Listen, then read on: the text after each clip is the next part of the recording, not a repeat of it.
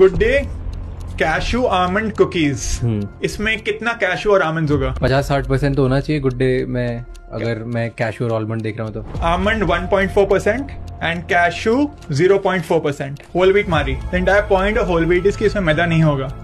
इसमें 52 परसेंट मैदा है और 19.5 percent whole wheat this is being sold as Nutri Choice herbs ashwagandha turmeric tulsi giloy amla पाँच चीज़ पाँच herb का मेंशन किए गए हैं और पाँचों हर्ब मिला के 0.1 परसेंट है।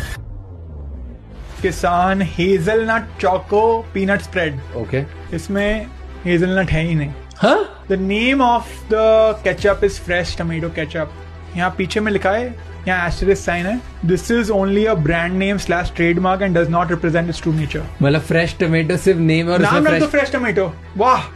Solve problem solve O R S L नीचे में लिखा है not N O R S इसका टर्न अराउंड करो do not consume during diarrhoea सब लोग कंज्यूम ओ आर एस उसी में करते हैं। यू आर जस्ट सेइंग कि ठीक है लोग लिख रहे हैं होगा उसका असर भी बट पॉइंट वन परसेंट जैसे वो होता है ना डिटॉल में दिखाते हैं ना एक कीटान बच गया। हाँ।